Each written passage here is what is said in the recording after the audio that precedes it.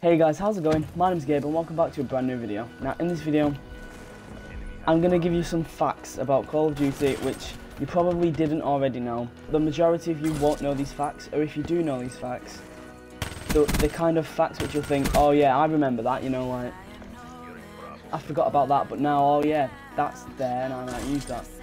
It's kind of a reminder mixed with a, uh, a couple of new facts in case you didn't know them. So let's just jump right into fact number one, and that is that there is a mode called Nightmares mode. So Nightmares mode is a mode that you unlock after you complete the campaign. So once you've completed the campaign, you unlock a mode called Nightmare mode. Oh my lord. Oh my lord, I was just shredding. Who saw that? Come on, leave a comment down below if you saw that absolute melt. If you complete the campaign on any difficulty, you'll unlock a mode called Nightmares mode. Now Nightmares mode is the exact same as campaign, but with zombies. So it's kind of mix of zombies and campaign put together. There are a couple of things that you can do to get it without doing the campaign. I've done that. But I mean, I did that ages ago when I was interested in it, and I have since forgotten how I did it.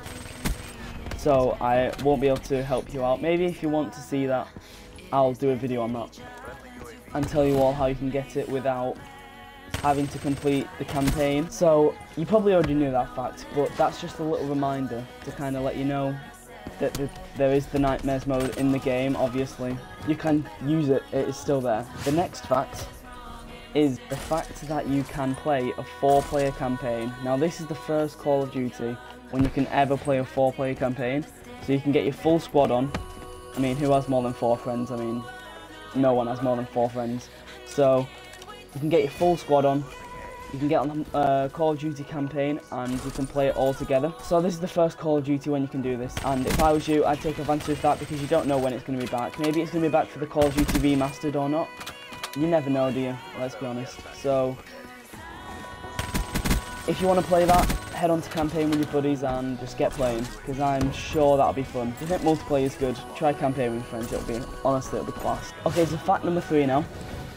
And do you guys remember a gun in the beta called the ARC 7, I think it was called, I believe. You'll probably remember this gun. It was so overpowered in the beta, it was ridiculous, but that gun, if you didn't know, is actually the KN44. It is the exact same as the KN44, but it's just been renamed to the KN44. If you didn't know that, go back and watch some beta gameplay and you'll see the ARC 7 and you'll think, hey, that's the, uh, the KN44. I'm not too sure why they changed the name, but all I know is that they did change the name. And it is now the KN44. Okay, so moving swiftly on into fact number four. Speaking about the beta, if you didn't know, there were a couple of weapons that weren't in the beta. Okay, so if you didn't know, there were a couple of guns that weren't in the beta. One of these was the SVG. I don't know what the numbers on the end of the SVG is. Actually, no, I might have a class. I do not. Oh well. So I can't remember what the numbers on the SVG are. Also, that's not the only gun that wasn't in the beta. The Dredge and the Gorgon wasn't in the, the beta. So the Gorgon is the two-hit LMG, if you didn't know. Quite slow fire rate, that wasn't in the beta. And neither was the Dredge, which is the, the six fire light machine gun. So there are a couple of facts that you didn't know, probably, about the beta. Okay, so moving on to fact number five, and I believe this is the most interesting fact out of all of these in this video, and it is that three months into the game of Call of Duty, which should be about January time, alright?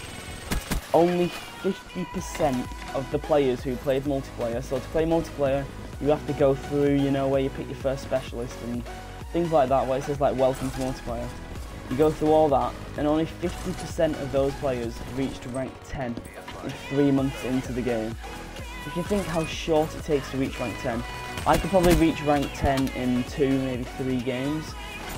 And some people couldn't do it in three months. I know that some people would be playing the campaign, some be playing zombies, stuff like that, but still, three months into the game and 50% ah, of the players, like it's not even a small amount of the players, half the players haven't reached rank 10. You'd think more people play the multiplayer than the campaign and other game modes, but Clearly not by those facts. More people was interested in the zombies and the campaign than the multiplayer. Either that or they just bought the game and uh, never wanted to play it.